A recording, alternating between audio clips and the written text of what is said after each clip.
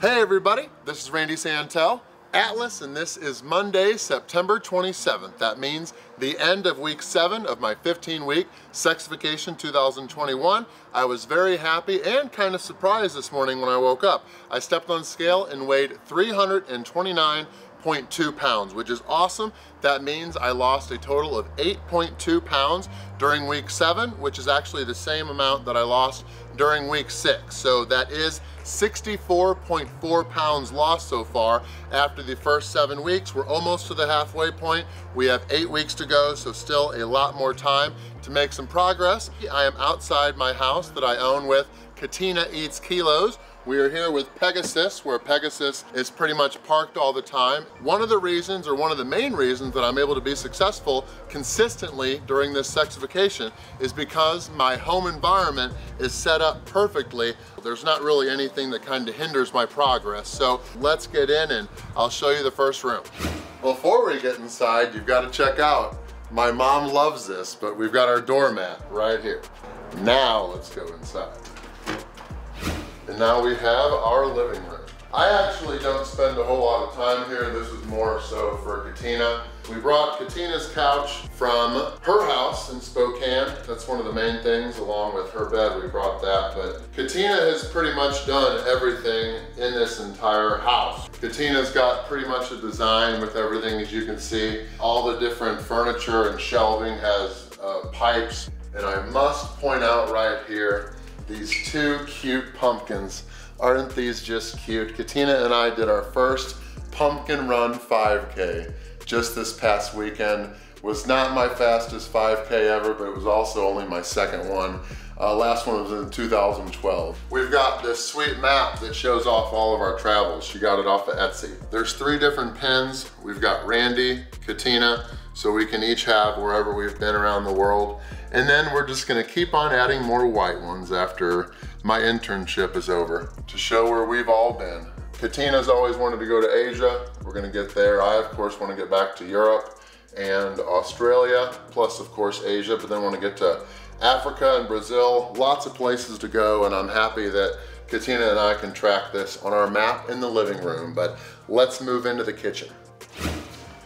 Right, anybody that's watched any of the previous videos or else some on Katina's channel too, you know this whole area. This is the kitchen slash dining room. Again, Katina's pretty much done all of the filling and the decorating here. I must say, we did find this house through our realtor named Marcus, who Katina and I actually met through YouTube. He had a YouTube channel showing uh, a whole bunch of stuff all about the Milwaukee area real estate and he specializes in relocating people to the area. So we contacted him, one of the easiest people to ever work with.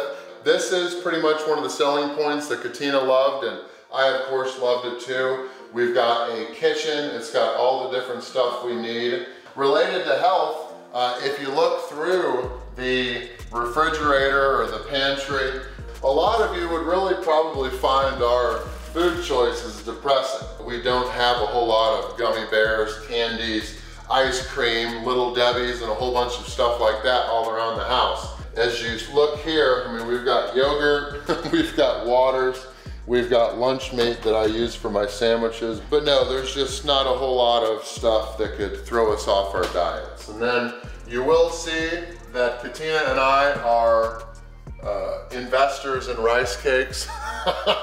we have a lot of flavored rice cakes because they're delicious. This is the dining room here. Katina found this on what? This was Etsy too? Etsy as well. Etsy as well. And she brought the chairs from her house. With me being in my internship, we don't really get to see each other during the day, so we usually try to eat some form of dinner together uh, when I'm home not doing a night class. So it's good to spend time with her there. Our friends Kat and Donald and everybody with Riverside Pizza up in Nenana, Alaska, they sent us this. Uh, as many of you guys know, this challenge that we did, that Team Pizza Challenge, that night Katina and I shared our first kiss. So we are very thankful to them. They mailed this to us and now we have it hanging up in the house. But before going to the bedrooms, I must point out from past videos, I've had a lot of people comment about how much I drink because they see a lot of liquor bottles around the house. And if you look at all these, they're all full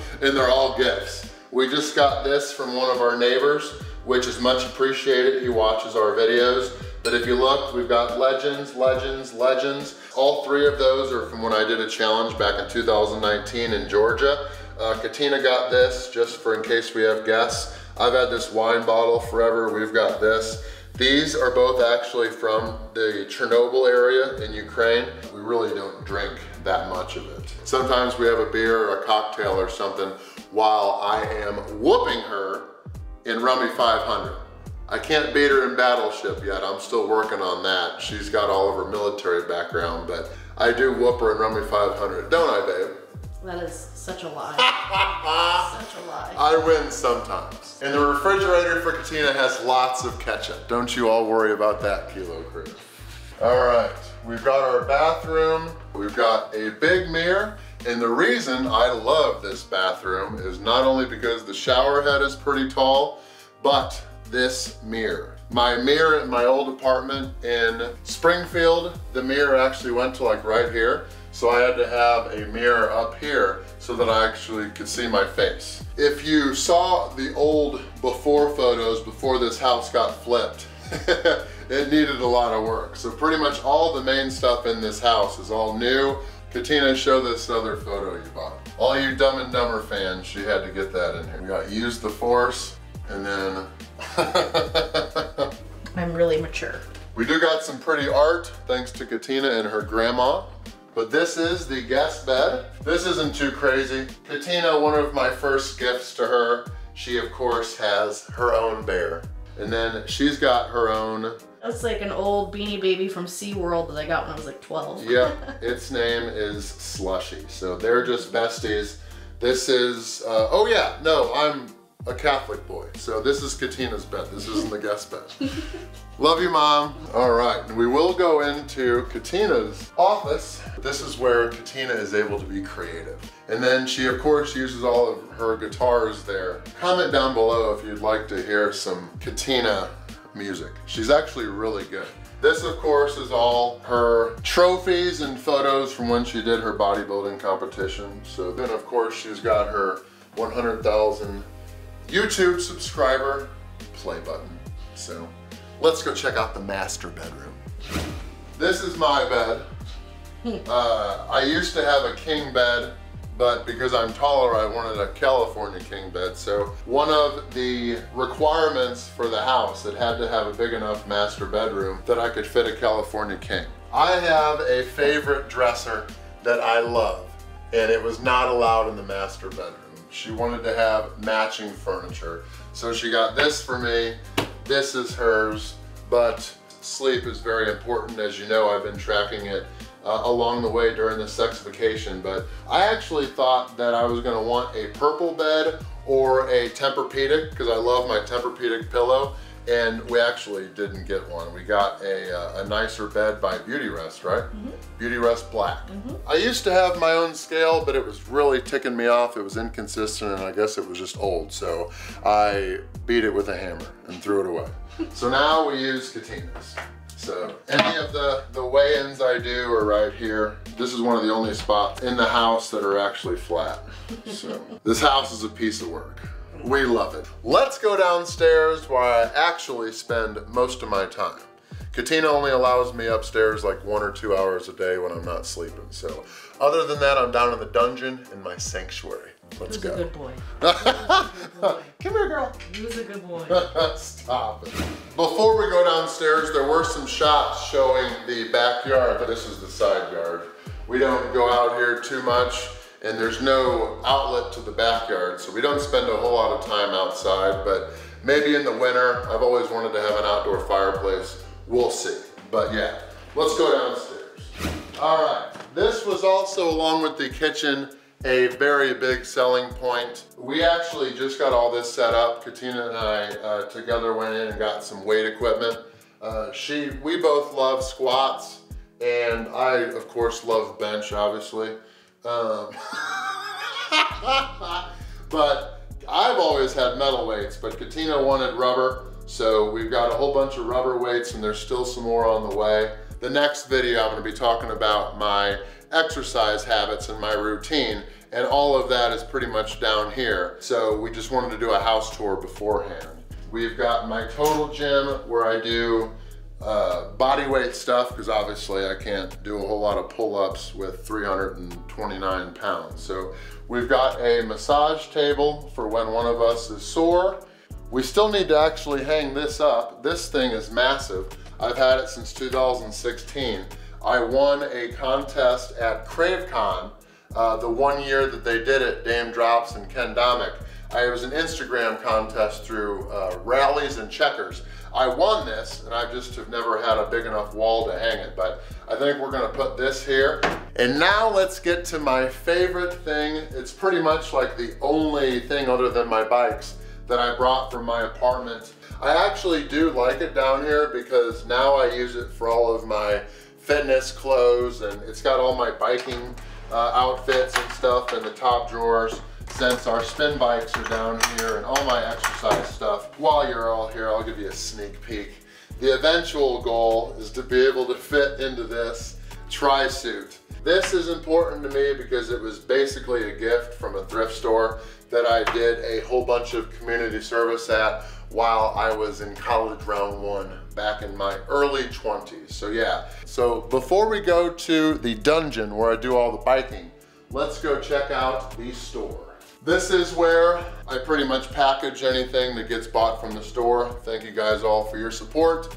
This sign was made for me by a couple in Southern England uh, back in like 2015, maybe 2016, but I love that. That of course came from my house. This is a shadow box. A lot of people have given Katina and I, well Katina from the military, but a lot of people have given me coins and stuff throughout the years at challenges. So we've got a shadow box for that. This is where all the store stuff gets stored and then the first five big 45 50 gallon tubs of my sweet t-shirts that I win those are all at mom and dad's house in the basement but now we've got all the remaining ones so that all, the first tub that I'm working on, number six, is behind. We've got Leonidas bears. So yeah, all the store stuff is here. It just keeps everything efficient. One of the things we agree on and where we bond is we're both kind of minimalists. We use pretty much every room, every closet. This is kind of messy. I keep most of the house clean because Katina likes everything straightened, so I'm allowed to have this corner a little bit of a mess. This is pretty much where I do all my work. My friend Robert, uh, big thank you to him. He's here in Milwaukee. He gave me these two screens. That is some fan art uh, from my friend, I think, if I remember right, down in New Orleans. That, of course, is a cute calendar that Katina's mom made for me. Katina has her own with different pictures. That is a Turkish thing that was given to us while we were in Turks and Caicos by the owners of Turks Kebab. I, of course, have my much older 100,000 subscriber YouTube play button and then I have both of my Missouri State University diplomas. This is where I spend a lot of time, but then when I'm not here or when I'm not upstairs or in the main area, I am biking on Stacy, who just this year met Sammy, Katina's bike. So let's check that out. This is one of my favorite rooms uh, I gotta give credit to Katina for setting it up this way. Katina does a lot of her exercising while I am doing my internship, so we don't really get to like stare in each other's eyes and ride that often. I know we're working on, once I'm leaner, we're gonna do some cute Instagram couples workouts, but Katina goes to bed about nine o'clock PM. I don't really go to bed until like midnight or one, so a lot of my riding is actually after she's gone to bed. She's able to sleep while I'm still riding, and these are both, a lot of people ask, they are, I had to get this originally because I knew that one day my weight was gonna be more. These both support like 350, 400 pounds. They are Stages Indoor Cycling model SC3s. I originally got it because it was the bike that was available in the Student Rec Center at Missouri State. I don't use this yet, uh, but I will once uh, I get a little bit leaner and I can get more flexible and start like kickboxing. One of the reasons I love this room is because Katina had the idea, gotta give her credit, to get this TV and hang it up like that. So when I'm not listening to audiobooks and podcasts, I am watching movies or watching video podcasts and stuff like that to kind of pass the time. Riding three hours in one place on a stationary bike is, is a long time. So Katina's subscribed to Netflix, Hulu, Amazon Prime, and we of course have YouTube. We use mine because I have premium. Now that you guys have seen the entire house, we are right in the room where my calendar is. So let's find out how week number seven actually went. As I said at the beginning of the video, this morning I woke up happily weighing 329.2 pounds. I didn't actually think that I was gonna lose that much weight. I thought I was only gonna lose a few and be in the low 330s. But yeah, hit the 329. I did not hit my spinning goal for the week. I only hit eight hours. So I was feeling a little bit rough from the previous week. I took off Monday. I was able to get two and a half hours on Tuesday and then two and a half hours on Wednesday for five hours. I took off Thursday because I was tired. Friday, I was off as well because I spent the entire day doing a thing for my internship through Mount Mary. Myself and the other 11 interns, we served a massive dinner that we cooked ourselves for about 140, 50 people. I actually hit over 10,000 steps that day just from walking around the kitchen and everything else we had to do. My buddy Ethan Teskey, he did come for the weekend, so we had like two or three beers afterwards and you still see that I did get a strike. I did my very first 5K since 2012. It was not as fast as the one I did in 2012 when I was thinner and more ready.